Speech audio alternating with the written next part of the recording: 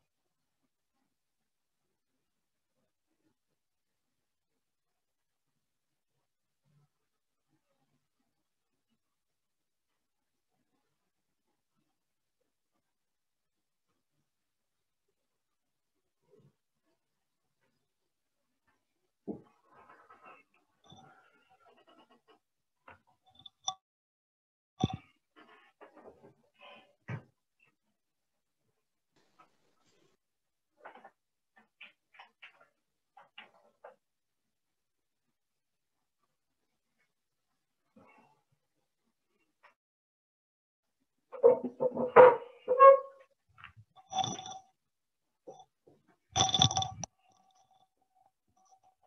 selamat siang.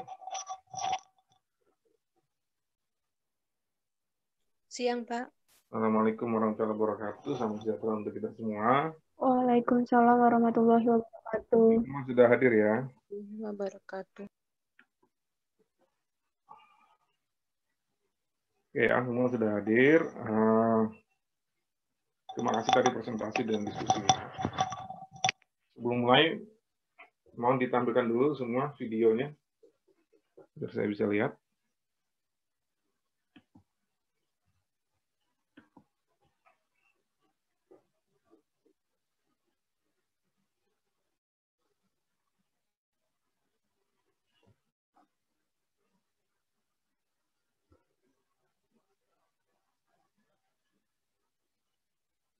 Semua sehat ya.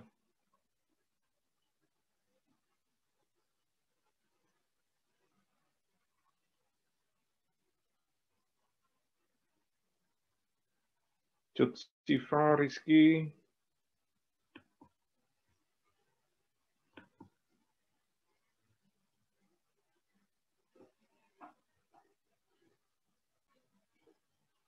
Rizky. Cut Siva mana?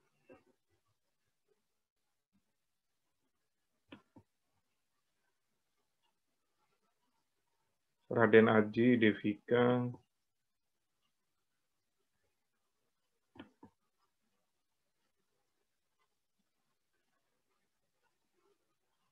Oh, ada 32 ya? Berarti ada yang pakai dua ya?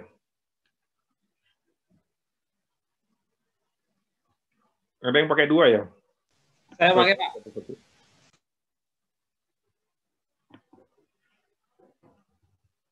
Oke, eh, hari ini kita belajar mengenai manajemen cash, teman-teman ya. Ini sebenarnya penting banget untuk semuanya. Walaupun memang saya lagi nanti kalian bekerja juga memang tidak selam- selamanya terlibat dengan manajemen cash ya.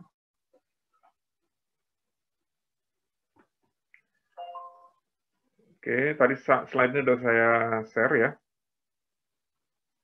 Tolong dibuka slide-nya di masing-masing.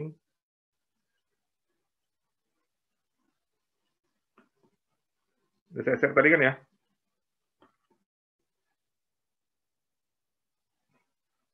Oke, sebentar ya. Saya ini eh, buka ini dulu.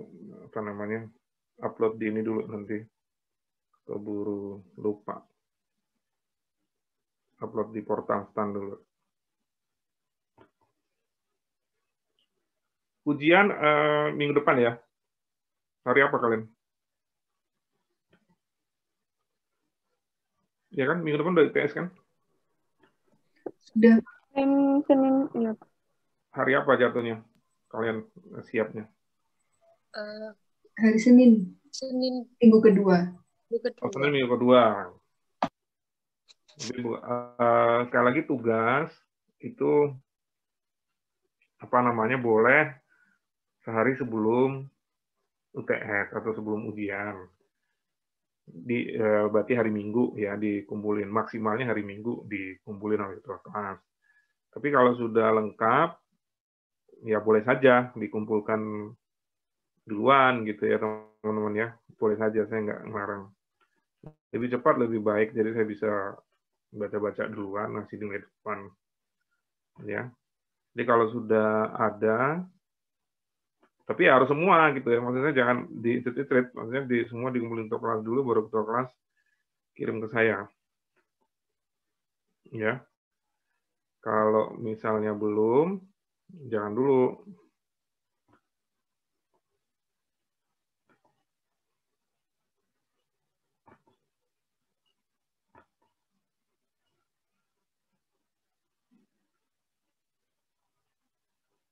Kok masih ada yang masuk lagi nih?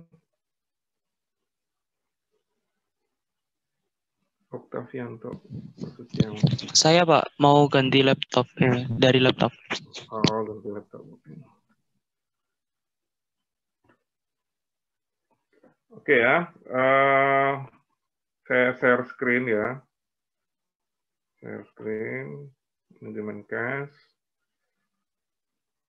Oke.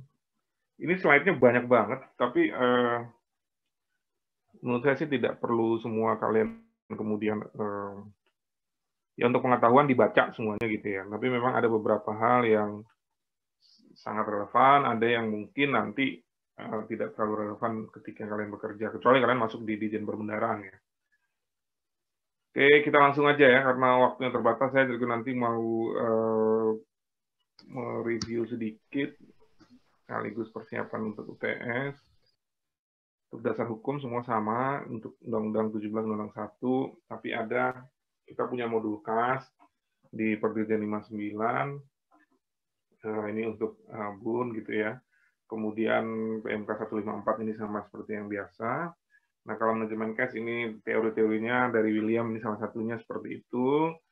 Kemudian yang tujuan pengelolaan kas ini ada dalam undang-undang dasar, eh sorry dalam undang-undang perbendaraan gitu ya, bahwa eh, tujuan pengelolaan kas ini untuk memastikan bahwa kewajiban dari negara itu tersedia gitu ya untuk dibiayai, kemudian dia lebih efektif, efisien, kemudian juga untuk pembayaran tepat waktu ya. Nah, tujuan pengelolaan kas negara di Indonesia ada beberapa tujuan utamanya jelas untuk kas itu lebih efisien dan efektif.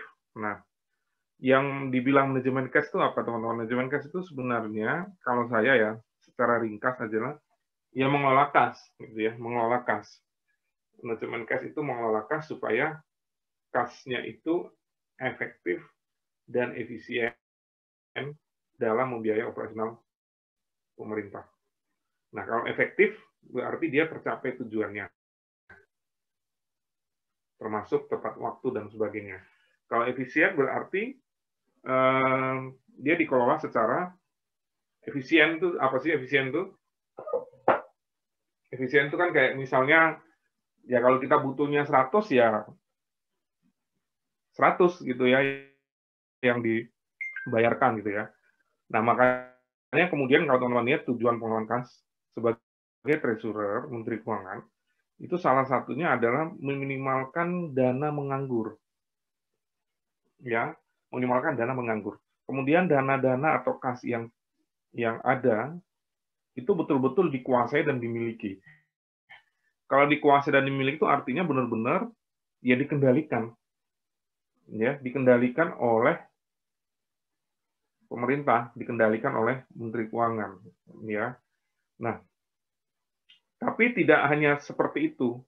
Kenapa? Karena kas kita itu sumbernya macam-macam. Dari penerimaan dan dari sorry dari pendapatan dan dari pembiayaan. Ya. Nah, kenapa dari pembiayaan juga?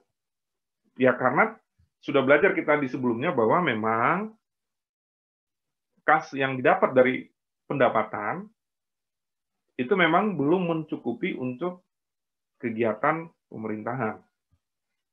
Ya, maka kemudian kita mencari sumber penerimaan selain pendapatan yaitu pembiayaan. Nah, maka kemudian manajemen cash dalam konteks ini juga sebenarnya bagaimana pembiayaan itu dikelola secara ekonomis yang paling efisien. Ya. Maka kemudian sumber-sumber pembiayaan itu juga dilaksanakan dengan menggunakan strategi tata kelola pembiayaan yang prudent kalau katanya Bu Menteri yang prudent. Prudent itu artinya hati-hati. Kita cari yang paling aman, kita cari yang paling hati-hati, dan tentunya dengan strategi supaya jangan sampai kemudian pembiayaan ini menjadi kontraproduktif. Ya, kalau teman-teman lihat, ini mumpung ngomongin pembiayaan, utang pemerintah pusat bertambah, iya. Tidak ada yang bisa membantah bahwa utang pemerintah itu bertambah. Kenapa seperti itu? Tidak ada yang membantah. Ya jelas, tercantum di dalam laporan keuangan pemerintah pusat. Jadi kalau ada orang yang bilang, oh utang pemerintah nggak nambah, salah menurut saya. Kenapa? Ya di laporan kuartal pusat memang kenyataannya utang pemerintah itu bertambah. Tetapi bagaimana utang pemerintah itu bertambah dikelola, kita bisa lihat. Ya. Bagaimana strategi pembiayaan yang diambil oleh pemerintah. Contoh, sumber pembiayaan itu kan ada dari utang. Utang ini ada dari utang luar negeri. Utang luar negeri itu ada dari multilateral, ada dari bilateral ya multilateral berarti dari lembaga keuangan atau dari beberapa negara bilateral berarti utang eh, dari satu satu negara tertentu. Di situ juga utang luar negeri itu ada yang sifatnya pinjaman program ya ada yang sifatnya pinjaman proyek. Pinjaman program itu bisa buat apa saja kalau pinjaman proyek itu untuk proyek tertentu ya. Tapi juga ada dari dalam negeri. Nah, selain dari utang yang bentuknya adalah pinjaman, ada juga kita ber, memperoleh dari surat berharga negara atau obligasi. Ya. Nah, dalam 10 tahun terakhir boleh dibilang seperti itu. Strategi pembiayaan kita memang beralih dari yang biasanya lebih ke pinjaman luar negeri, sekarang menjadi kita lebih banyak porsinya berasal dari penjualan surat berharga negara. Kenapa demikian? Itu strategi yang diambil oleh pemerintah. Apa tujuannya? Ya tentu biar lebih efisien dan lebih efektif. Selain itu juga untuk mengurangi ketergantungan pada satu negara atau lembaga keuangan tertentu. Surat berharga negara itu siapa aja boleh beli. Baik perorangan, badan usaha, itu boleh. Dan surat berharga negara kita paling banyak dijual di dalam negeri. Siapa yang beli? Ya masyarakat Indonesia. Bunganya buat siapa? Ya buat pemegang obligasi, ya berarti masyarakat Indonesia yang beli. Ada yang dijual ke negeri? Ada. Tapi dengan begitu maka pemerintah tidak tergantung. Tidak terjebak dalam yang sekarang lagi gonjang-ganjing selalu rame di media sosial, apalagi dikomporin dengan beberapa pengamat, bahwa Indonesia nanti seperti negara-negara, beberapa negara di Afrika misalnya, yang terjebak dalam uh, Cina debt trap gitu ya. Jadi terjebak dari utang yang diperoleh dari negara Cina. Nah, itu menurut saya kurang tepat. Kenapa? Karena struktur utang kita berbeda. Indonesia tidak bisa dibilang terjebak dalam satu negara tertentu. Nggak bisa.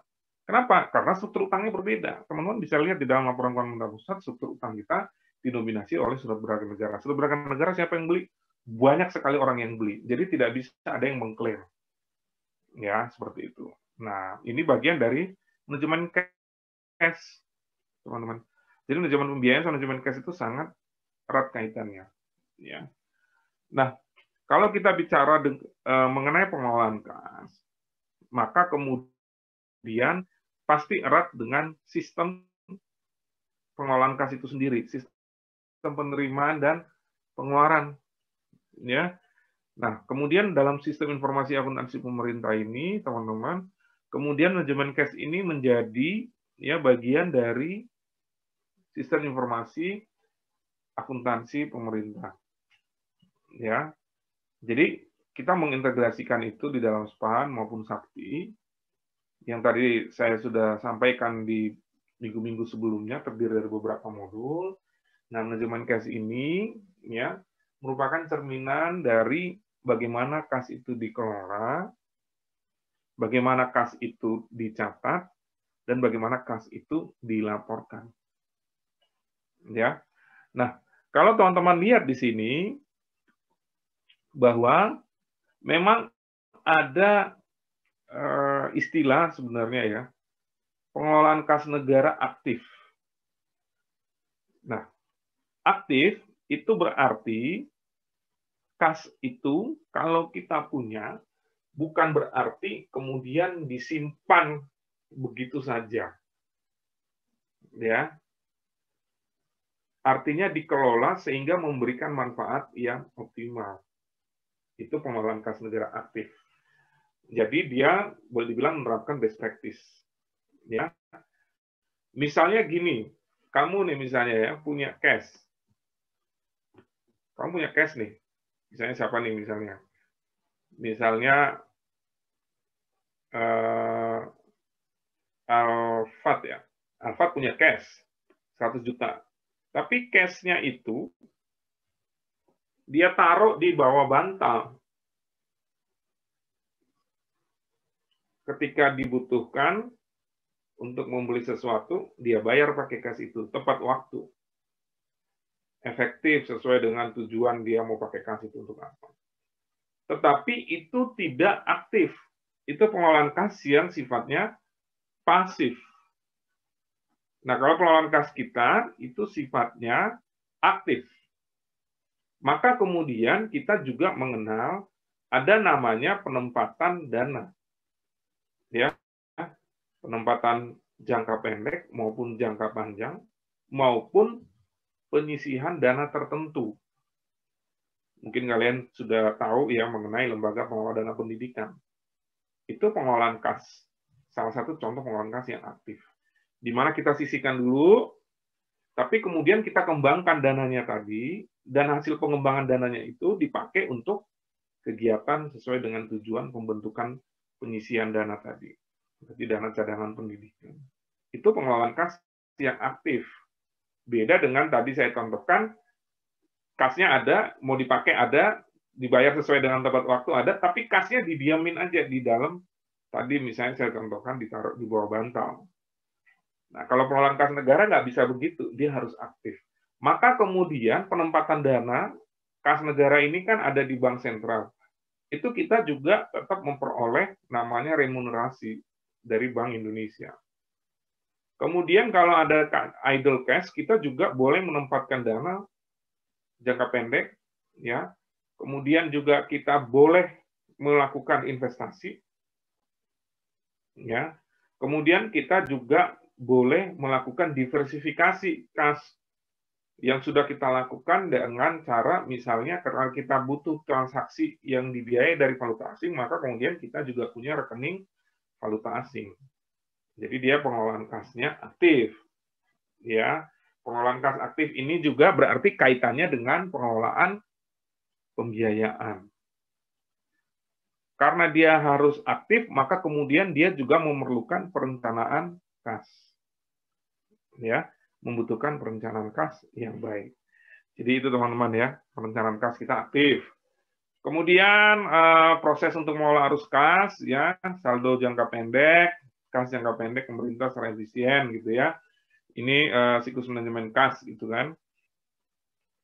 Nah, ini pihak-pihak yang terlibat. Makanya tadi saya sampaikan, belum tentu sih teman-teman itu pasti terlibat dalam manajemen kas.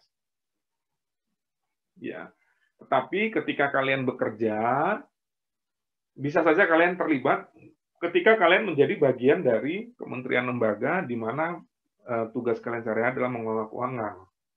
Ya, misalnya di bagian keuangannya, ya. Maka kemudian kalian pasti akan terlibat dengan manajemen cash ini di mana kemarin suatu uh, modul pembayaran ya, itu kementerian lembaga sudah terlibat di mana kementerian lembaga itu walaupun dia hanya menggunakan kas, ya bukan satker belu nih misalnya dia hanya menggunakan kas tetapi dia diminta untuk terlibat dalam manajemen kas apa contoh realnya? Satker itu diminta menyampaikan rencana penarikan dana ya itu salah satu bentuknya nah ini pihak-pihak yang terlibat pasti menteri keuangan yang paling banyak ya selaku bendara negara kemudian itu kekuasaan menteri keuangan itu diserahkan ke atau dilimpahkan kewenangan ke direktorat jenderal pembendaraan di bawah Direktorat Kendaraan itu ada Kuasa Bun, itu ada Direktorat Pengelolaan Kas Negara di kantor pusat, berarti Kuasa Bun pusat, dan KPPN maupun Kambil Kuasa Bun di daerah. Kemudian ada DJPPR ini yang terkait dengan pembiayaan. Nah ini Komite Pengelolaan Aset dan Liabilities ini ALM meeting gitu ya, semacam uh, Bu Menteri dan uh, pejabat eselon 1. Kemudian ada jaringan informasi perencanaan kas, dan kemudian ada kementerian-kementerian. Nah, sekarang pengelolaan kas kita itu makin diperluas, teman-teman ya. Jadi, eh, semenjak Undang-Undang Keuangan Negara itu lahir, dan Undang-Undang Perbendaraan, kemudian kita mengenal namanya Badan Layanan Umum. Nah, Badan Layanan Umum ini kemudian yang dia juga berfungsi sebagai pengelola kas di lingkup Badan Layanan Umum tadi. Jadi, eh, tidak semua kas pemerintah itu ada di eh, rekening kas umum negara. Ada yang memang ada di rekening kementerian lembaga, ada yang bisa dikelola langsung oleh kementerian lembaga, ada yang tidak bisa. Yang bisa dikelola langsung, artinya kalau dia terima uang, dia bisa menggunakan langsung, itu hanya di satker Badan Layanan Umum. Ya. Nah ini eh, Menteri Keuangan menuju ke JPB, gitu ya, melaksanakan fungsinya. Eh, kewenangan yang dilegasikan ini teman-teman bisa lihat, mulai dari penetapan sistem pemungutannya, penunjukan bank-bank operasionalnya, ya bank operasional itu artinya bank yang ditunjuk oleh pemerintah untuk uh, menerima pembayaran maupun melaksanakan pembayaran atau melaksanakan pencairan dana itu ya, namanya bank operasional atau bank persepsi. Nah sekarang tuh nggak cuma hanya bank operasional aja teman-teman, sudah menggunakan marketplace juga seperti Bukalapak, Tokopedia dan sebagainya untuk menerima penerimaan. Ya, Kemudian peningkatan dan pengelolaan dana negara yang diperlukan untuk melaksanakan anggaran dan penyetoran penyimpanan kas. Penempatan dana, penempatan kas yang menganggur, mengelola investasi, melakukan pembayaran itu kewenangan dari BUN yang dilimpahkan ke Direktur Jenderal Perbendaraan. Jadi ya tersudurnya Indonesia itu ya di Jenderal Perbendaraan itu. Ya, dia mendapat pelimpahan kewenangan dari Menteri Keuangan. Nah, ini beberapa uh, cerita gitu ya teman-teman bahwa ya sebenarnya bukan karena jadi kadang-kadang orang tuh suka banget ngomongin sesuatu itu dilihat dari potongan frame tertentu. Ya kayak misalnya gini kan, ini saran World Bank, iya memang sarannya iya betul. Tetapi sebenarnya pemerintah itu melakukan ini secara sistematis, without saran World Bank apun IMF pun kita sudah secara sistematis kemudian membenahi pengelolaan kas. Ditandai dengan apa? Ditandai dengan undang-undang keuangan negara dan undang-undang perbendaraan. Itulah background latar belakang utama manajemen kas secara modern di Indonesia. Ya. Jadi bukan eh, kemudian kita itu selalu oh karena ada lembaga internasional kemudian kita enggak juga ya. Kita memang bangsa kita adalah bangsa yang terhormat. Jadi bukan berarti kemudian seolah-olah kita didikte oleh lembaga internasional yang lain enggak juga.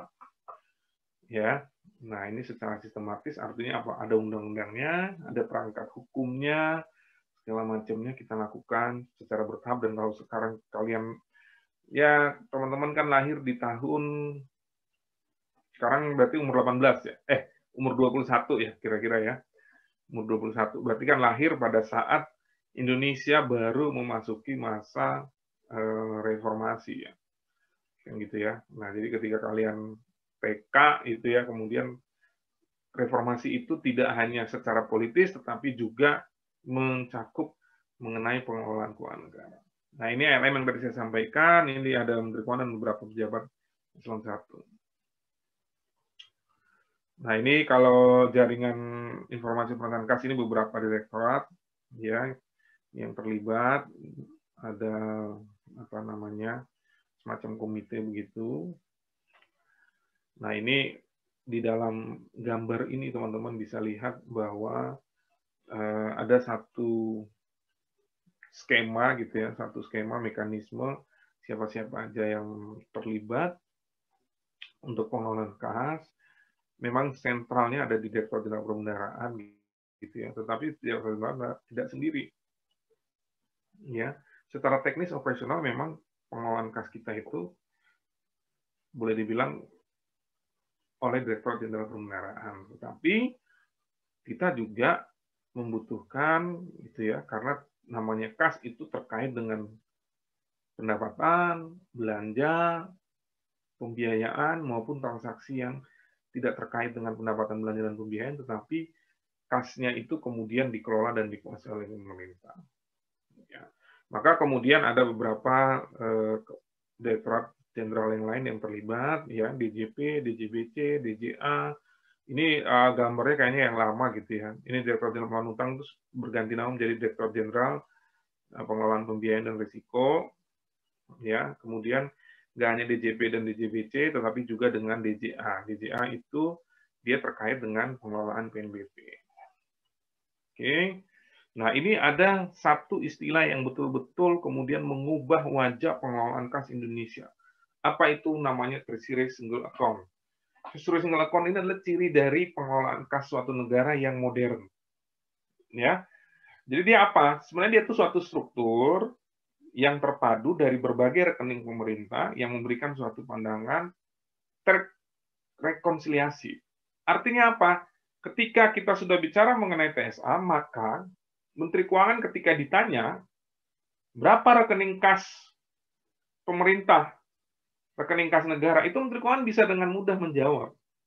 Kenapa? Karena memang kita sudah treasury single account. Jadi semuanya itu memang ada di bank sentral. Ya. Jadi yang di bank-bank operasional itu decentralized juga di bank sentral.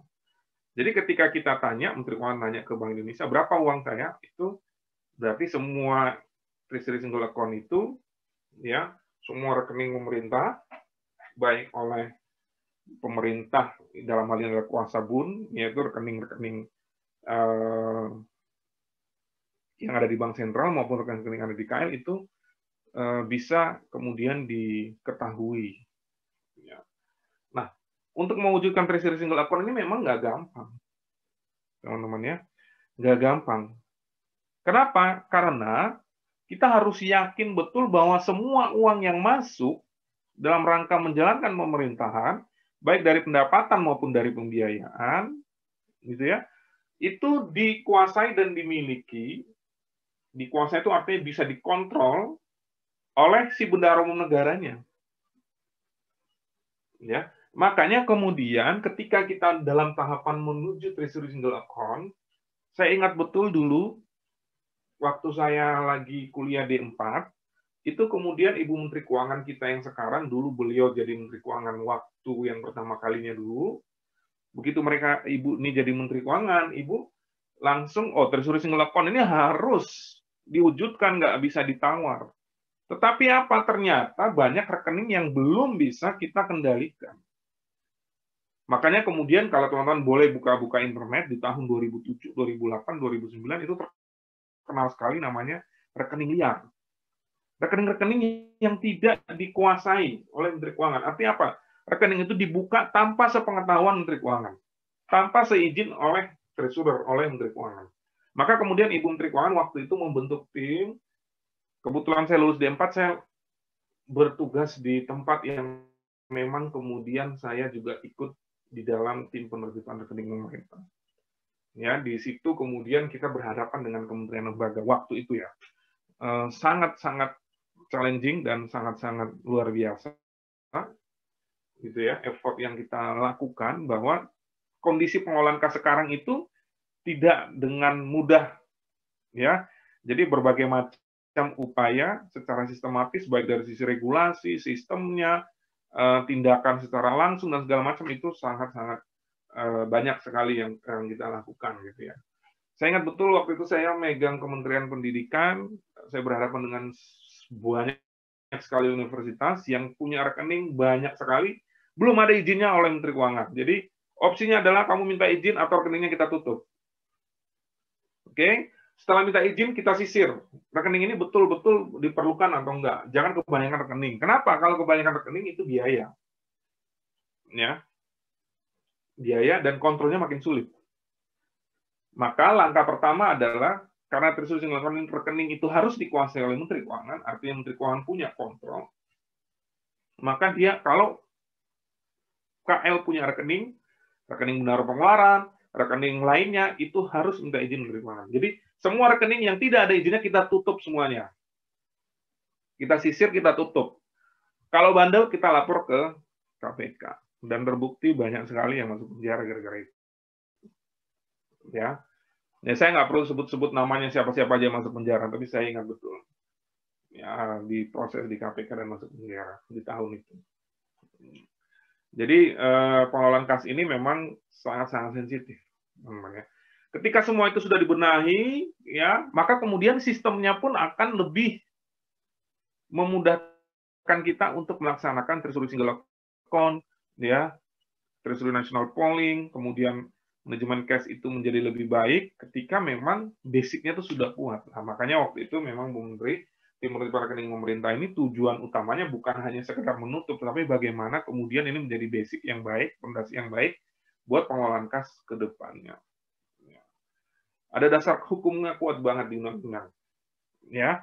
Nah, jadi kemudian ini yang dari situ kita ketahui bahwa banyak sekali dana menganggur idle cash tanpa remunerasi ataupun ya ada remunerasi tapi remunerasi itu tidak masuk ke kas negara tapi ke kantong pribadi teman-teman. Waktu itu kami eh, setidaknya ada 30 ribu rekening lebih yang kemudian kita tutup. Teman-teman bisa bayangkan ada 30 ribu rekening lebih yang kita tutup. Ya, bayangkan zaman sebelum reformasi itu kayak apa pengelolaan rekening pemerintah di kementerian-kementerian lembaga. Ya. Nah, kemudian itulah eh, makanya saya bilang reformasi di dalam bidang keuangan negara dengan Undang 1, Undang-Undang 17 dan Undang-Undang 15 itu betul-betul mengubah salah satunya mengubah wajah pengelolaan kas. Kita sekarang bisa berbangga bahkan diberikan penghargaan oleh Bank Dunia bahwa Indonesia adalah salah satu negara dengan pengelolaan kas yang sangat baik. Ya. Oke. Nah, ini tahapannya. Tapi sebelum tahapan di sini, ini kan tahapan pertama konsolidasi saldo kas. Nah, sebelum konsolidasi saldo kas itu kan kita harus tahu dulu mana rekening yang kita kuasai. Kalau kita nggak kuasai rekening itu tutup. Kalau Anda mau ini, Anda harus minta izin. Nah, itu satu step di belakang ini. Itulah yang kemudian dilakukan oleh kebetulan saya ikut itu dengan tim penertiban rekening pemerintah. Ya. Nah, baru setelah itu kemudian kita menerapkan Treasury single account baik untuk pengeluaran, untuk penerimaan, termasuk Treasury national polling untuk rekening yang dikelola oleh satuan kerja. Gitu, ya. Jadi istilahnya ya kita kalau mau ini ya kita harus tahu dulu semuanya kan gitu ya. Harus kita tertibkan dulu. Sama ketika kita bicara mengenai aset tetap. Maka kemudian neraca kita itu menjadi bisa eh, valid dan eh, relevan gitu ya. Ketika aset itu dicatat dengan baik dan benar, maka kemudian Ketika itu belum dilakukan, kita melakukan inventarisasi dan penilaian kembali di tahun 2007 sampai 2010. Jadi betul-betul luar biasa periode 2007 ya 2006 sampai dengan 2010 itu saya bilang sebagai dasar-dasar bagaimana kita mereform pengelolaan keuangan Indonesia. Tidak hanya pemerintah pusat tapi juga pemerintah daerah. Pengelolaan keuangan itu termasuk dengan asetnya. Ya. TNP itu Treasury National Polling. Jadi walaupun rekeningnya ada di dikuasai oleh si Kementerian Lembaga, tapi sebenarnya duitnya itu seolah-olah kayak bisa ditarik. Maksudnya duitnya bisa ditarik, maksudnya artinya duitnya itu kita tahu gitu ya. Kita tahu bahwa oh ini duitnya KL itu segini. Ya. Terus national polling. Nah, ini ada penerimaan penerimaan dan pengeluaran. Ya, kemudian ada pembiayaan, ada investasi. Nah, dari single account berarti di rekening kun kita bisa tahu kita ini lagi surplus apalagi defisit ya kita bisa tahu rekening pemerintah itu di mana saja dikuasai oleh siapa sudah ada izinnya atau belum kemudian di akhir hari itu saldonya ada berapa itu kita bisa tahu ya. jadi dulu sebelum reformasi sebelum manajemen cash kita baik kalau menteri keuangan ditanya duit kita ada berapa bingung jawabnya karena misalnya aja ibu misalnya jawab nih ya oh duit kita ada 100 triliun padahal belum tentu 100 triliun bisa lebih banyak karena apa? Karena ada rekening-rekening yang kita tidak kuasai, kita tidak ketahui. Nah, kalau sekarang nggak bisa. Ya. Nah, ini ada ada struktur dari TSA itu, ada rekening kun, ya, kemudian ada rekening penempatan, ada rekening penerimaan, rekening penerimaannya ada rekening penerimaan sub erkun, kemudian ada rekening penerimaan yang di bank persepsi atau pos persepsi, Kemudian untuk rekening eh, apa namanya pengeluaran, ya teman-teman rekening pengeluaran itu ada di bank operasional seluruh Indonesia. Dan kemudian ada namanya rekening lainnya, itu berarti ada rekening yang di luar untuk penerimaan dan pengeluaran operasional. Misalnya contoh rekening escrow, ya rekening cadangan itu ada di rekening lainnya atau sal. Nah, semua itu kamu bisa lihat resume-nya atau ringkasannya ada di dalam laporan keuangan pemerintah pusat. Bahkan untuk rekening kas negara, kamu bisa lihat nomor rekeningnya berapa itu ada di laporan keuangan negara pusat. Saldonya ada berapa itu ada di laporan keuangan negara pusat. Ya, seperti itu. Makanya kemudian saya agak bingung ketika, wah pemerintah kehabisan cash. Wah itu siapa yang berarti eh, harus Menteri Keuangan tuh yang ngasih tahu bahwa pemerintah kehabisan cash. Jadi yang tahu duitnya pemerintah ya Menteri Keuangan. Gitu ya. Ya. Jadi nggak bisa ngambil kesimpulan dua pemerintah lagi nggak nggak nggak punya duit, gitu, nggak punya cash gitu, nggak bisa. Ya, karena yang menguasai rekening itu kan Menteri Keuangan sebagai bendahara umum negara. Oke, nah ini deskripsi aliran dananya teman-teman untuk pengetahuan aja. Kalian mungkin lihatnya agak rumit gitu ya. Tapi yang jelas kalau teman-teman bisa lihat di situ bahwa kita punya bank persepsi itu di bank umum itu ada 80-an bank persepsi. Kemudian kita punya eh, apa namanya rekening penempatan, kita punya rekening kelolaan TDR, TDR itu Treasury Dealing Room, ya itu artinya kita karena kita menganut prinsip pengolahan kas aktif, kita ketika ada cash kita tempatkan atau kita eh, lakukan investasi jangka pendek. Oke. Kemudian ada rekening kas umum negara itu sendiri, ada yang dalam bentuk rupiah dan ada yang juga dalam bentuk falas. Falasnya apa aja? Dalam bentuk USD dolar, kemudian ada yen Jepang ya, kemudian ada euro. Kenapa kita punya itu? Karena banyak transaksi yang kemudian membutuhkan USD euro maupun uh, yen Jepang ya. Nah itu kenapa? Salah satunya adalah tujuannya juga untuk menghindari risiko kurs. Ya. Nah, kemudian ada sistem transfer dananya yang kita pakai sekarang bukan lagi hanya MPNG 2 tetapi juga sudah MPNG 3. Terbukti MPNG 3 ini kita sudah melibatkan bank persepsi selain bank umum. Yaitu apa? Marketplace. Ada Bukalapak gitu ya contohnya seperti itu. Kemudian ada BI RTGS ini sistem yang ada di BI itu tersambung dengan SPAN. Maka kemudian ketika ada update ada transaksi yang mengakibatkan rekening kita bertambah atau berkurang, maka dia sudah pasti terhubung dengan SPAN. Demikian juga rekening kita bertambah berkurang itu karena ada transaksi yang dibukukan melalui SPAN. Ya, seperti itu teman-teman. Jadi eh, kalau prinsip pengolahan PSA itu sendiri teman-teman bahwa rekening pemerintah pada bank komersial itu bersaldo nihil pada akhir hari. Artinya apa? Artinya saldonya itu sebenarnya sudah terkonsolidasi di lapor di rekening kas umum negara yang ada di bank sentral. Ya. Jadi pada hari yang sama ya pada hari yang sama. Jadi nggak bisa misalnya oh gua taruh dulu deh duitnya di mana gitu nggak bisa karena itu sudah tersentral di eh, bank sentral maka kemudian prinsip pengelolaan TSA ini menjadi penting memastikan bahwa kas itu dikelola secara efisien dan efektif. Salah satu prasyarat menurut saya manajemen cash tanpa TSA itu ya belum benar aja lah. Pokoknya berarti eh, kita nggak bisa mengendalikan cash, kita nggak bisa memastikan cash itu berapa jumlahnya dan segala macamnya kalau kita nggak bisa menerapkan TSA. Ya, kemudian ini ada namanya rekonsiliasi penerimaan kas itu dilakukan oleh Bank Indonesia dan uh, melalui MP, MPN harusnya MPN sudah G3 dan SPAN ya. Kita punya uh, satu KPPN namanya KPPN menerima yang memantau, memonitor, mengetahui semua penerimaan yang terjadi yang kemudian tercatat juga di Bank Indonesia. Baik dari WP, dari uh, wajib setor bea cukai, wajib setor PNBP itu semua masuk ke bank persepsi, kemudian di akhir hari itu uh, akan ditarik gitu ya, ditarik ke bank sentral dan kemudian ada rekonsiliasi penerimaan kas. Oke.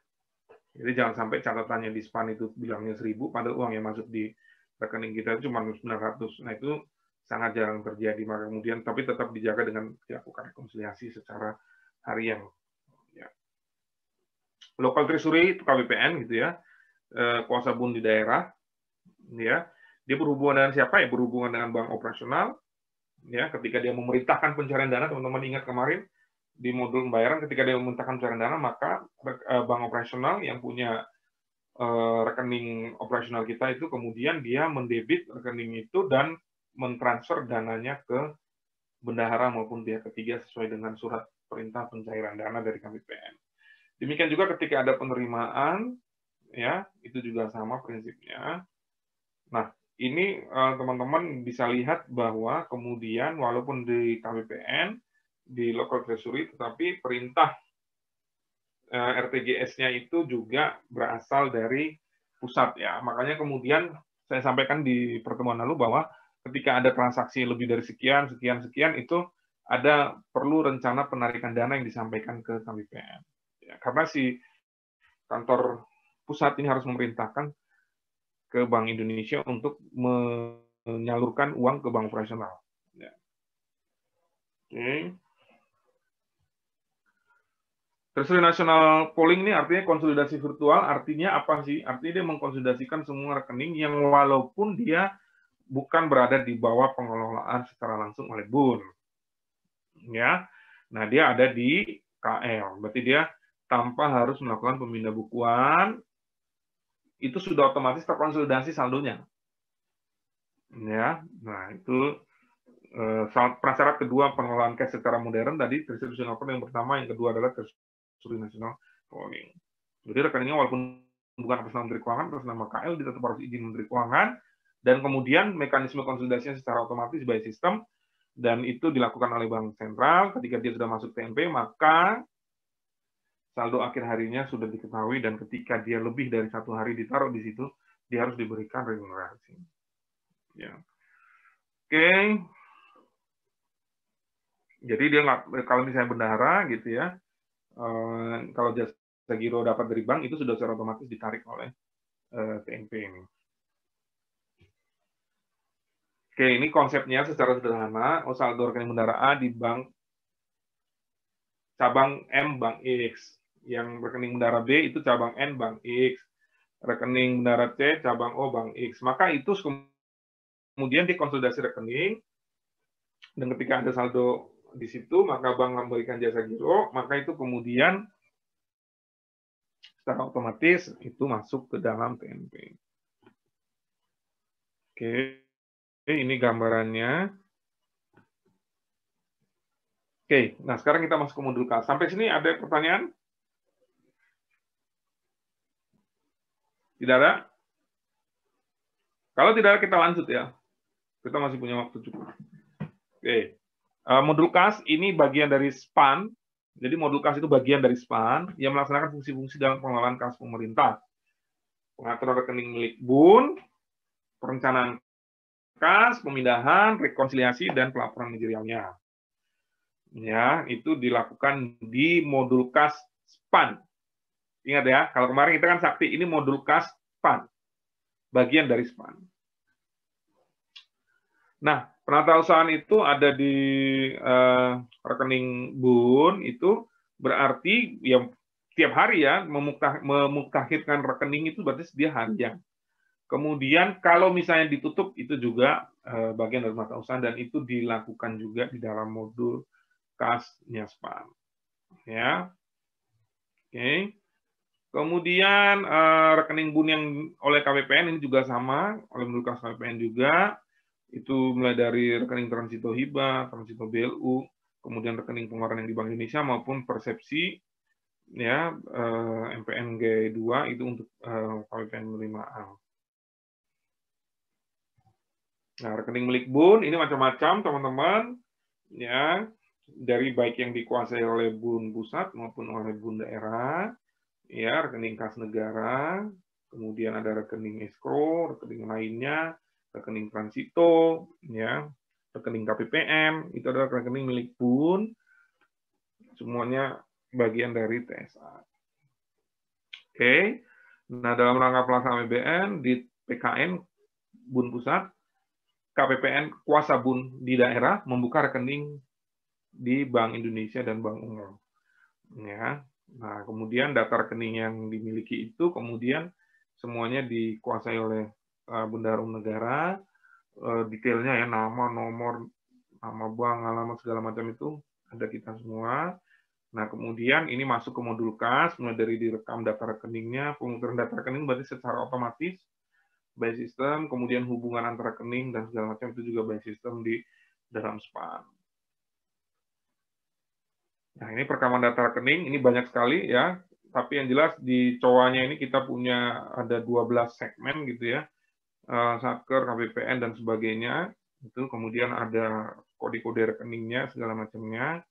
Ini boleh dibilang segmen basnya seperti itu. Jadi kemudian uh, ini yang menjadi dasar kode yang ada di dalam modul kas Disman. Perekam data rekening, nah ini teman-teman bisa lihat ya. Setupnya oleh oleh di PKN, ya. Kemudian eh, kita bedain mana yang oleh PKN dan mana yang KBPN. Nah, ini setupnya langkah-langkah setupnya seperti ini, teman-teman bisa lihat gitu ya. Kepala KBPN buka rekening, ya kemudian kepala KBPN melaporkan, ya, kemudian di PKN penetap, uh, minta penetapannya, kemudian masuk ke dalam database yang ada di modul kas dispan. Jadi rekening apa saja yang kita punya dan kita kuasai itu semuanya ada di dalam modul kasnya span. Saldonya berapa, kapan dia dibuka, nomor rekening yang mana, kode basnya yang mana, segala macam itu lengkap. Ya. Oke, kemudian apabila terdapat perubahan data, misalnya contoh ya, nomor rekeningnya tetap tetapi namanya berubah. Bisa saja itu terjadi untuk rekening escrow. Kemarin dia dipakai untuk nampung hibah A. Kemudian berubah nih, hibah A udah selesai. Adalah daripada saya buka itu aja pakai, tapi saya ganti namanya. Ya, Nah, itu eh, semuanya bisa eh, bagian dari pemuktahiran, kecuali segmen bank. Artinya banknya nggak, kalau banknya ganti itu namanya bukan pemuktahiran. Itu namanya rekening baru, kan gitu ya. Oke, kemudian penutupan. Ini kalau ada penutupan rekening, ketika rekening itu sudah tidak dibutuhkan lagi, bisa saja ditutup. ya. Kemudian kalau saldonya apa yang pasti di kas negara, tapi kemudian di setup ulang gitu ya. Nah, jadi nggak mungkin rekening yang tidak aktif kemudian menerima dana. Nggak bisa. Udah di setup untuk dia. Dia kalau udah tidak aktif, ditutup ya sudah mati. Nggak akan mungkin ada uang masuk ke situ. Teman-teman ya. Nah, sekarang kita ngomong mengenai uh, perencanaan kas. Ini ada dasar hukumnya di PMK 197 yang sebenarnya turunan dari Undang-Undang Perbendaharaan. Nah, ini kita boleh dibilang PMK ini kemudian menjadi dasar untuk bagaimana kita memproyeksi arus kas eh, berdasarkan jangka waktu, maka ada tahunan, bulanan, dan harian. Ya, ini rencana penarikan dana, eh, perkiraan kebutuhan dana sebenarnya ya. Nah, RPD ini ada yang tadi harian, bulanan, dan tahunan.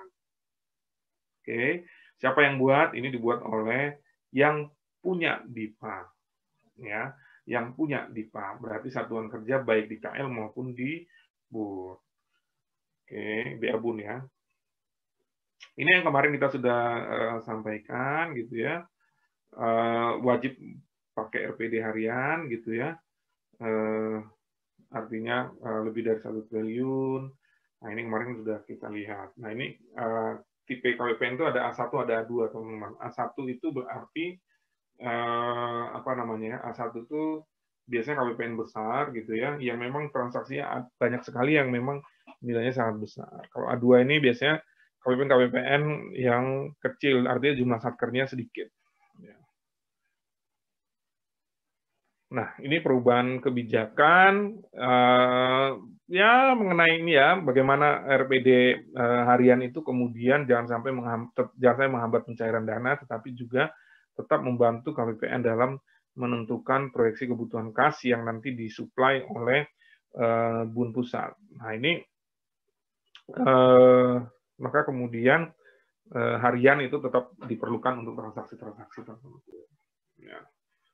Jadi KPA lah yang yang tahu kapan saya butuh uang gitu ya.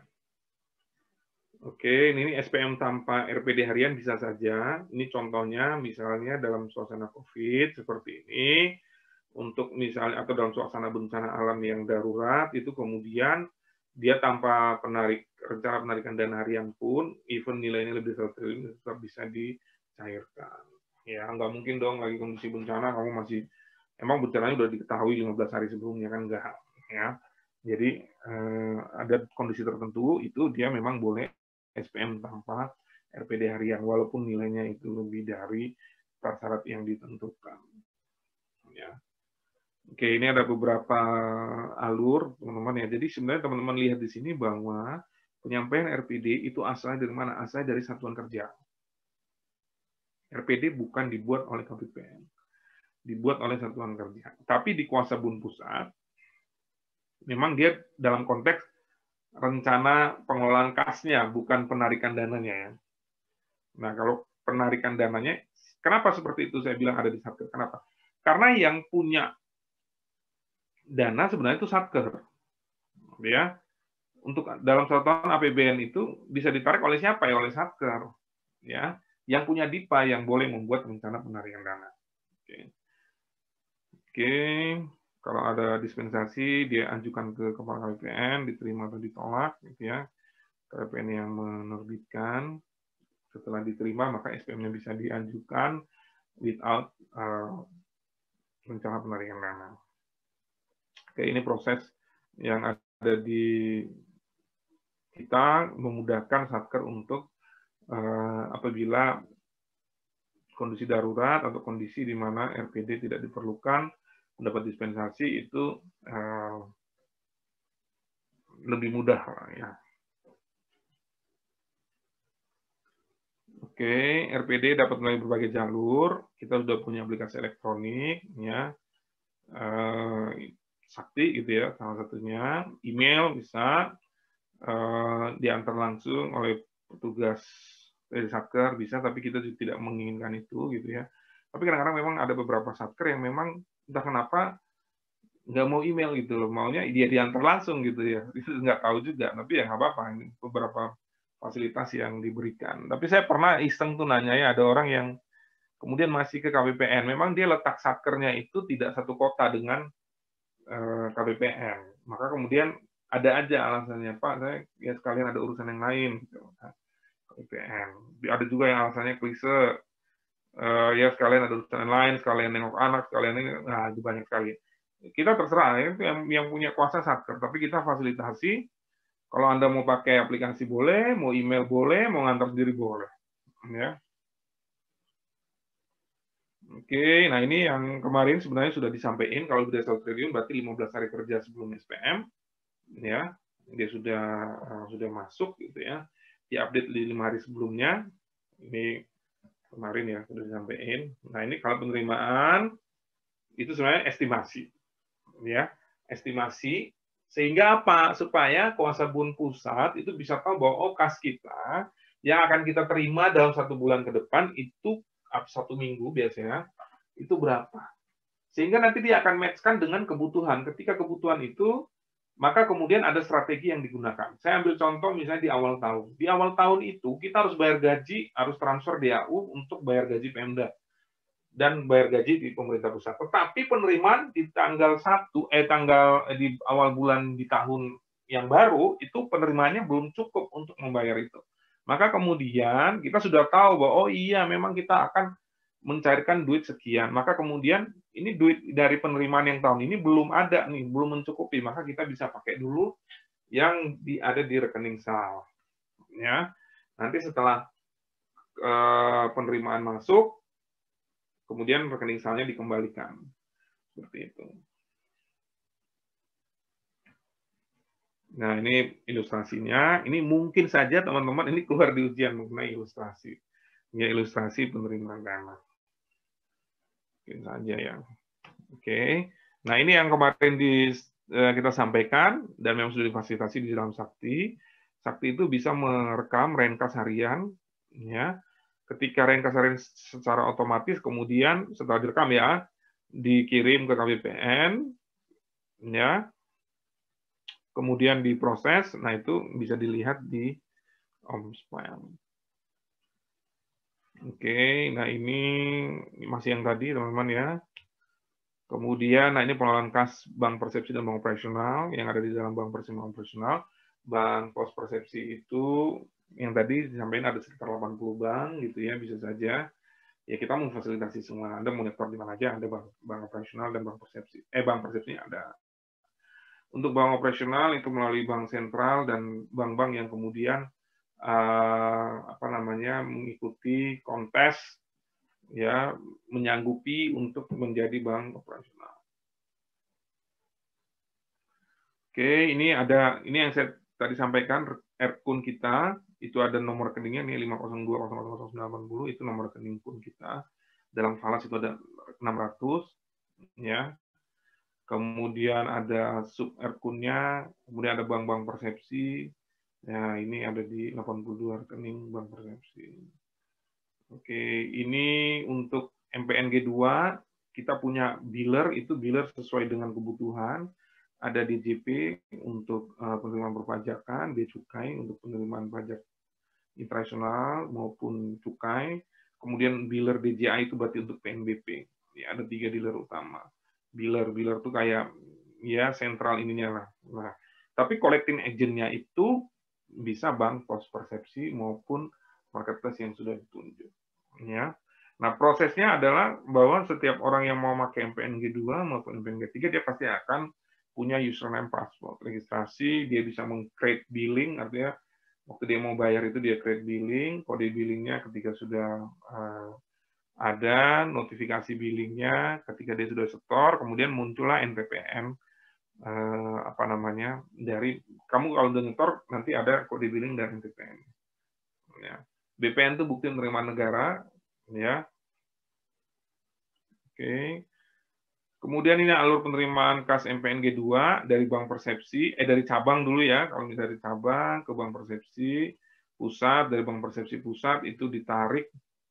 Kalian kalau saya ngomong ditarik itu jangan bayangkan uang itu ditarik ya, maksudnya ini data rekeningnya itu kemudian saldonya itu akan berubah gitu ya. Eh, di BI pusat ujungnya itu di rekening 500 0005 980. Ya, nggak usah dihafal nomor rekeningnya, nggak keluar di ujian nomor rekeningnya berapa ya. Oke, kemudian ini untuk pengeluaran negara. Oke. Jadi ada kita punya bank operasional ke pihak ketiga, bendahara maupun pegawai. Ya. Jadi dari dari dia bank operasional itu dapat dropping dana dari rekening kas negara di bank sentral ya. Oke. Makanya kita perlu juga rencana penarikan dana. Dia harus di dropping dulu, kalau enggak uangnya nggak ada di bank operasional. Oke, nah ini untuk pengeluaran teman-teman ya, ketika ada SP2D, maka kemudian dia akan lari ke BO pusat. Ya, BO, bank operasional, bank operasional kemudian nanti akan mencairkan dana ya untuk uh, melalui bank operasional di daerah ataupun kantor pos ya. Oke, kemudian ini ini ada di modul ini ya, modul apa namanya modul pembayaran ya. Nah, tapi memang kita batasi bahwa kalau dia masuk sebelum uh, 13.30 di WIB, 14.30 di WIT, 15.30 di waktu Indonesia Timur, maka SPBD-nya diberikan tanggal hari kerja yang sama. Tapi kalau misalnya sesudah itu, maka dia akan diberikan tanggal berikutnya. Kenapa seperti ini? Karena memang proses di perbankan itu kalau teman-teman kalau tahu ke bank gitu ya, di atas pukul 3 biasanya atau pukul 4 itu dia tidak akan bisa lagi melakukan yang namanya RTGS. Ya. Maka kemudian supaya ini tanggal SP2D-nya itu kita sesuaikan dengan sistem perbankan kita. Jadi kalau misalnya masih di bawah ini dia akan mendapat tanggal yang sama, dicairkan di hari yang sama. Nah ini dari droppingnya itu dari jam 8 sampai 15.30 ya kecuali kondisi darurat. Ya, makanya kemudian percuma kalau SP2D dimasukin sekarang, tapi jam misalnya di Witanya sudah jam 3, eh di atas jam setengah 4, dia udah batasin tuh ya. Oke, SP2D reject ini eh, kalau misalnya tidak bisa dieksekusi oleh bank, ya ada bisa kekurangan dana pada RPK Bun. Ini berarti eh, terkait dengan misalnya rekening khusus yang menampung SBSN. Kemudian sistem clearing nasional atau RTGS-nya itu sudah tutup. Ya. Kemudian terjadi error, nah ini pernah terjadi juga. Tapi kemudian SPD reject ini akan sangat mudah diketahui gitu ya, mana yang belum terbayar, bukan belum terbayar, mana yang belum dananya dicairkan, itu akan ketahuan. Tapi ada juga namanya eh, SPD reject ini yang uh, rejectnya itu karena nomor rekening di banknya itu nggak valid. Jadi misalnya ini beberapa kali terjadi ketika uh, ada transfer dana bantuan sosial ke rekening penerima, rekening penerimanya itu nggak valid. Ya. Kemudian maka uh, eh, SP2D-nya itu sebagian ya, sebagian artinya waktu transfernya itu seolah-olah di reject. Gitu ya. Jadi dananya itu kembali lagi ke uh, bank operasional bekas negara. Oke, ini kalau kekurangan dana. Nah, ini biasanya nih kalau misalnya terjadi dropping dananya itu terlambat ya atau tadi perkiraan penarikannya itu tidak akurat untuk terutama yang jumlahnya besar. Tetapi ini nggak lama, besoknya langsung di dieksekusi lagi gitu ya. Oke, jadi paling uh, H plus satu itu kemudian langsung di approve kalau misalnya ternyata itu uh, memang uh, status rejectnya itu sudah bisa di uh, approve gitu ya, langsung di, dieksekusi ulang langsung begitu sudah di approve. Oke, nah ini Rexus SBSN, kalian nanti baca aja ya untuk pengetahuan. Nah ini retur SP2D, SP2D retur ada rekening retur itu ketika misalnya uh, apa namanya tadi ya salah satu contohnya adalah ketika nomor rekening nggak valid dan sebagainya.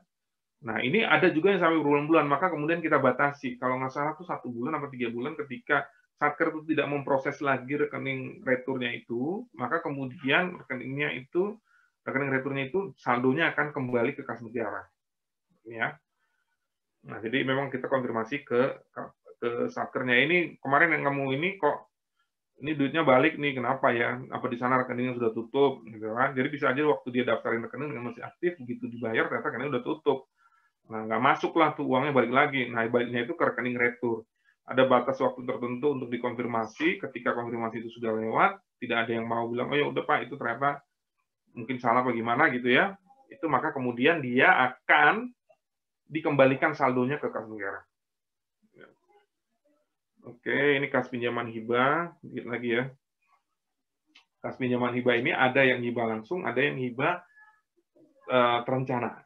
Ya, kalau hibah terencana itu biasanya melibatkan pihak dari negara donornya. Ya, dari negara donornya. Oke.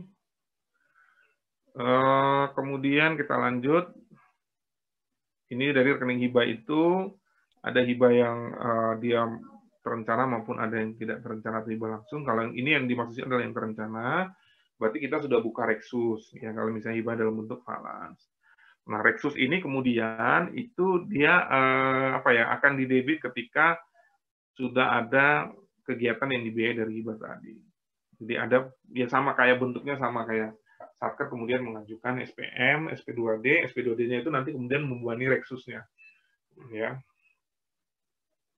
Oke, ini ada rekening sumber daya alam.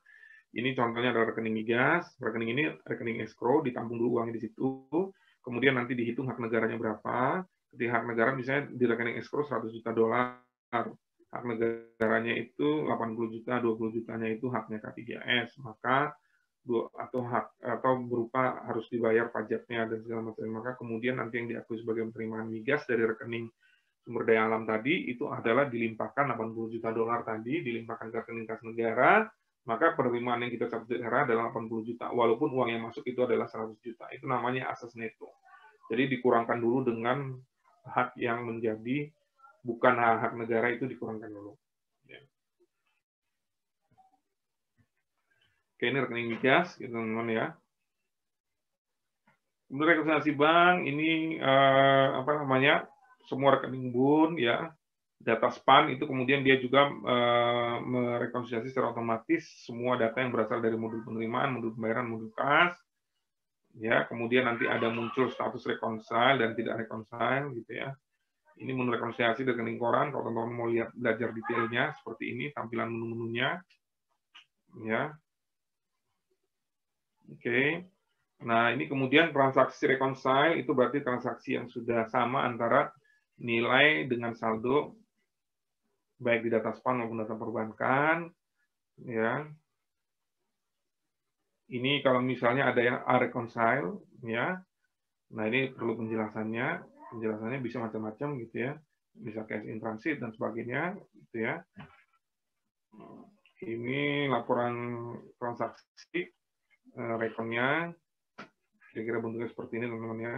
Nah ini kalau kalian akan berhadapan ini kalau kalian kerja di dijen perbendaraan itu pun juga nggak di setiap ini ya di dijen perbendaraan itu pun eh, di KWPN gitu ya, yang biasa berhubungan dengan Oke, ini hubungan antara modul yang ada di SPAN dengan di eh, modul-modul uh, yang eh, terkait dengan pengelolaan kas, modul utang, piutang, komitmen, ya kemudian modul-modul yang ada di dalam uh, sakti. Oke. Ini alirannya, teman-teman, aliran datanya, ada data perkiraan kas, aliran pembayaran, menerima, rekonsiliasi, data rekeningnya.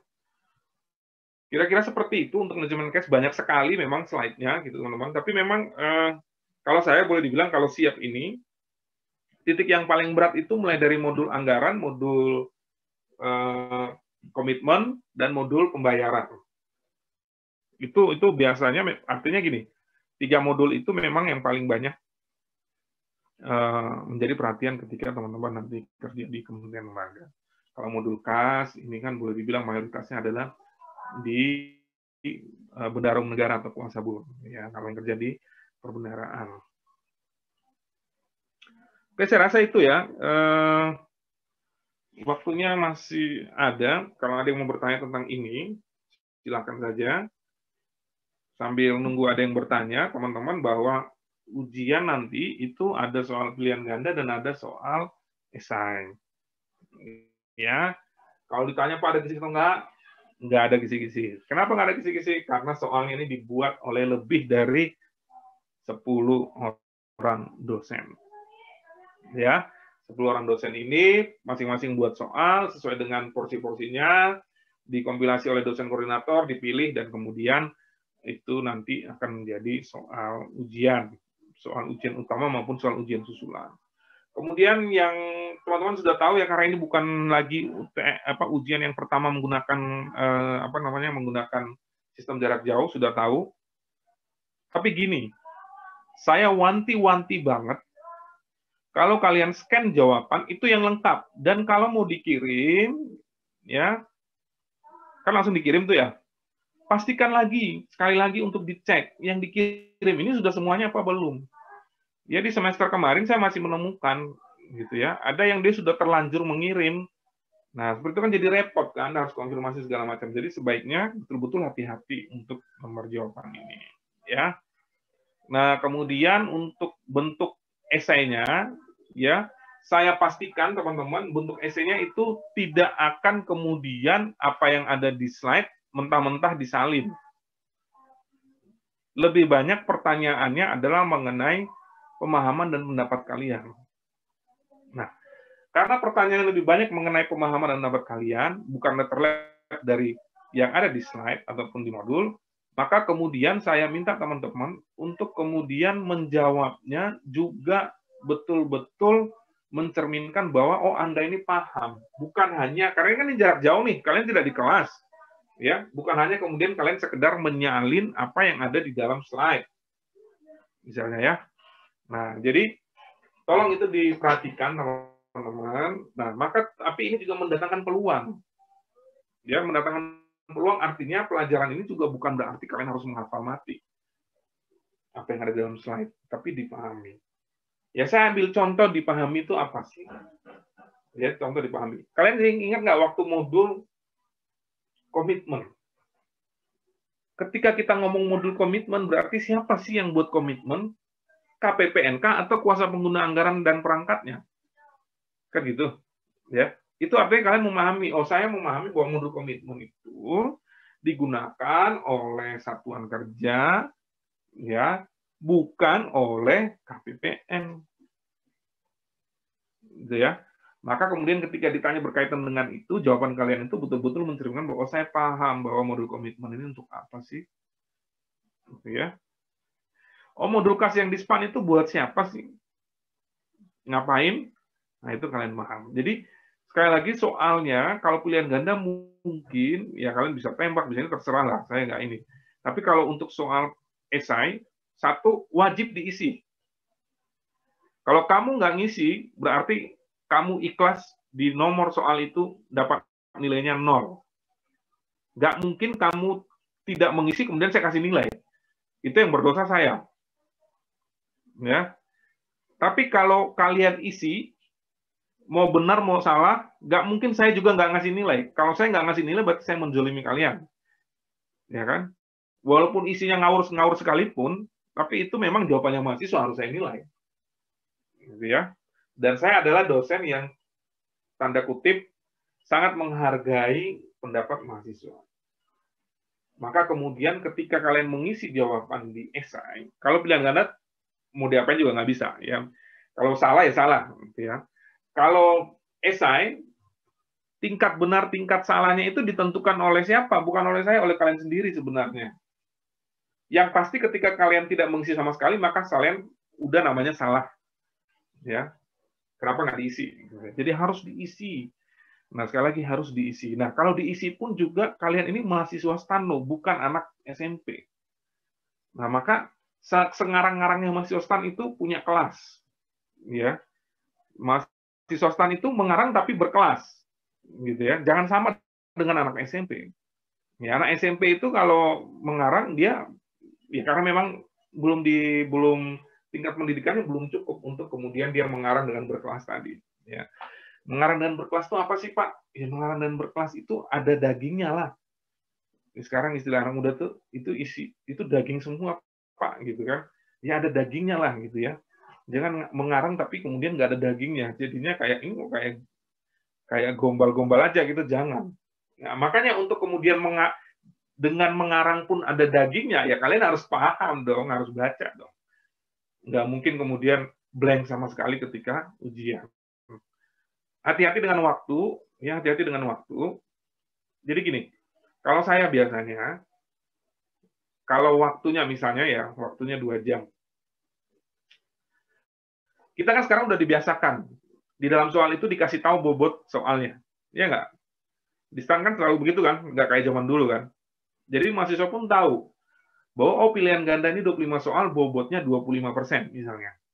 Maka esai bobotnya adalah 75%. Biasanya bahkan di bobot soal esai pun dikasih tahu ini soal bobotnya berapa. Seandainya tidak nggak dikasih tahu pun kalian sudah bisa kira-kira kalau ada lima soal ya anggap saja lima soal ini secara rata-rata satu soal itu 15 poin. Nah, udah tahu pilihan ganda cuma 25%. Berarti waktu pengerjaan pilihan ganda tidak boleh lebih dari 25% waktu. Itu udah maksimal bahkan bila perlu setengahnya dari waktu.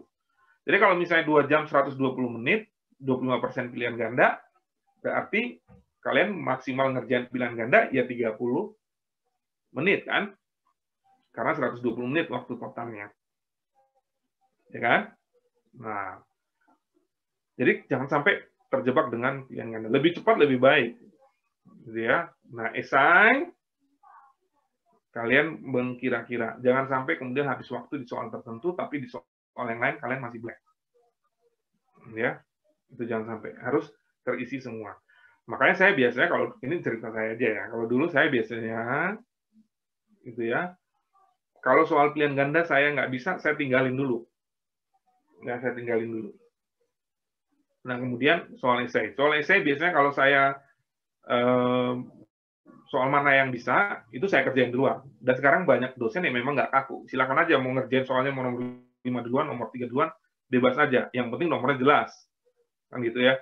Nomornya jelas. Supaya apa? Supaya jangan kemudian nanti kalian ngeblank dengan, wah ketemu soal yang susah nggak bisa, kalian kebanyakan mikir malah yang soal yang mudah sebenarnya gara-gara mikir yang sulit itu jadi jadi ngeblank juga gitu kan sayang. Ya itu strategi aja. Tapi sekali lagi siap ini tidak untuk mengajarkan kalian harus menghafal oh ini kalau di modul, modul ini menunya ini ini ini ini. Enggak juga. Saya kurang setuju dengan itu. Karena sub menu-menu segala macam itu bisa saja nanti berubah namanya. Bisa saja berubah letaknya. Ya kan? Tetapi ketika kalian memahami modul ini untuk apa, untuk apa, untuk apa, itu lebih penting menurut saya. Karena nanti ketika dunia kerja pun kalian akan diberikan tambahan pembekalan lagi. Ya, kira-kira seperti itu. Oke ya. Ada yang mau bertanya? Ini waktu kita udah habis terkait UTS maupun terkait materi tadi. Ada? Jadi saya nggak bisa ngasih kisi-kisi ya, udah, udah nggak zaman lah, zaman anak sekarang masih kisi-kisi gitu kan. Ya paling kalian nah, kalau waktu nggak pandemi kan biasanya ngumpul di tempat fotokopian, tapi kan masa anak zaman sekarang masih ngumpul di tempat fotokopian. Kalau zaman saya dulu iya, di fotokopian itu adalah surga ketika mau ujian. Entah catatan siapa, pokoknya kalau tulisannya bagus bisa dibaca fotokopi. Nanti dibaca atau enggak, urusan belakang. Ya. Tapi kalau kalian kan zaman sekarang ya beda dong. Ya kan? Kalian bisa belajar dari bahkan belajar dari YouTube pun bisa. Ya, Sakti Spana ada di YouTube kok. Kalian cari-cari kan. Contohnya saya kemarin udah share kan pertemuan kapan itu, ya kan? Itu apa saya kurang paham nih kalau dengan slide. Ya, saya memahami waktu kita terbatas yang diajarin banyak banget. Ya, yang diajarin banyak banget. Saya nggak tahu kelas lain tuh untuk untuk slide itu bisa tuntas oleh dosennya saya juga nggak ngerti. Ya, tapi menurut saya mata kuliah siap ini sangat padat. Ya, yang kalian pelajari itu sangat banyak sebenarnya ya, sangat banyak. Jadi kalau ditanya cukup nggak Pak dengan uh, di kelas saya ngasih tahu, saya berharapannya dengan kalian membuat slide menjadi kelompok menangkap itu paling nggak ada yang nyantol lah di pikiran kalian gitu ya, karena kalian ngerjain sendiri gitu ya. Tapi itu mungkin belum tentu juga belum tentu cukup gitu ya, makanya belajar lagi dari YouTube dan silakan lagi. Ya, kebangetan banget ya kalau ada yang kelompok misalnya gali kelompok yang tentang modul komitmen nanti pas soal modul komitmen gali blank itu kebangetan banget. Berarti kemarin ngerjainnya gimana tuh waktu ngerjain presentasi? Ya gitu ya. Nah oke okay. kalau tidak ada selamat ujian ya teman-teman semua semoga sukses soal eh, apa namanya tugasnya jangan lupa dikumpulkan kalau tidak lagi saya tutup ada tidak ada? Oke, kalau tidak ada saya tutup. Wassalamualaikum warahmatullahi wabarakatuh. Waalaikumsalam warahmatullahi wabarakatuh. Terima kasih Pak. Terima kasih Pak. Terima kasih Pak. Terus ya. Terima kasih Pak.